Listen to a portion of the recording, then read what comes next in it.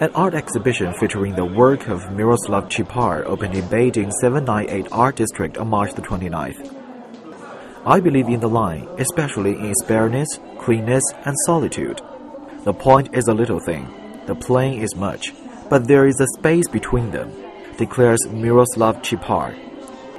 As one of the most successful Slovakian artists, Cipar devotes himself to art and design.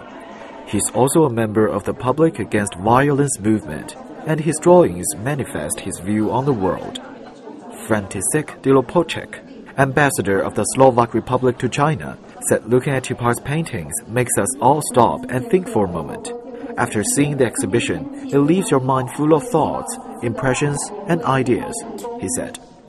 Miroslav Cipar is a, a very famous Slovakian artist. Uh, he studied the Academy of Fine Art uh, in Bratislava. And as you can see later on, his pictures are really very interesting. You have to stand a little bit and think about what's the meaning. And I think everybody will find his own explanation.